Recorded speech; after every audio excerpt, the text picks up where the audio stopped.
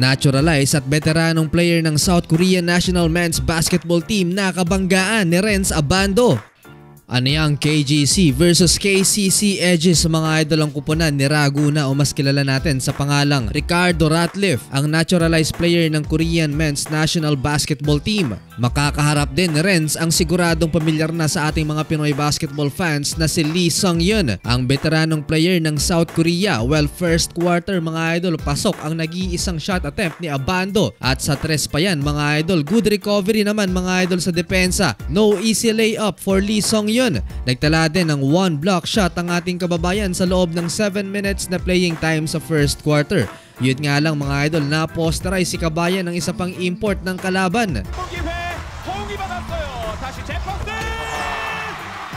Second quarter, nagkatapat na rin si Raguna at Renz Abando. Isang minuto pa lang nang magsimula ang quarter na to mga idol. Renz Abando clear for take-off, two-handed dunk. KGC의 공격입니다. 아, 렌즈 아반도 뚫렸어요.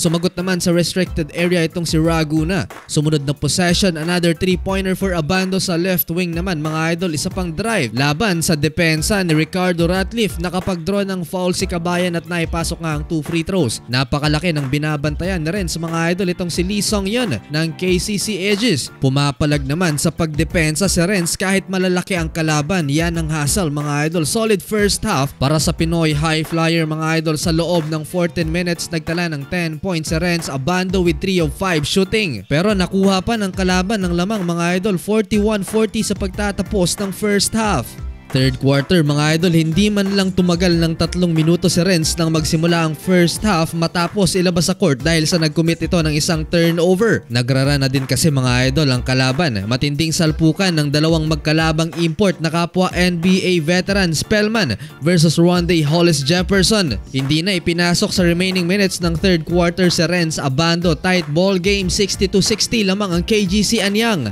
Fourth quarter Renz Abando making clutch play para sa KGC Anyang Tindi ng hassle ni Kabayan mga idol nakapag-draw ng foul beyond the arc. Pasok ang 3 free throws at sinundan pa yan ng step back long 2-pointer. 5 straight points para kay Renz mga idol. Yun nga lang nilabas din agad si Kabayan dahil naman sa pagod. 자, 슬금슬금 틈을 엿보고 있고요. 스텝백 두 점 라인 밟고 던졌습니다. 와. Last 2 minutes, no Spellman, no problem yung isang import ng kuponan ni Renz na ang bahala lamang muli ang KGC Anyang. Pero muling tumabla sa 82 mga idol wala ng isang minuto. Pero sa last 27 seconds na ipasok pa ng isa kakampi ni Renz ang clutch basket na ito para selyuhan ang panalo laban sa home team. Final score 84-82 panalo ang anyang KGC. Nagtala mga idol ng 15 points si Renz Abando sa loob ng almost 18 minutes na paglalaro shooting 4 of 6 from the field. May isang rebound at isang block shot si Renz Abando.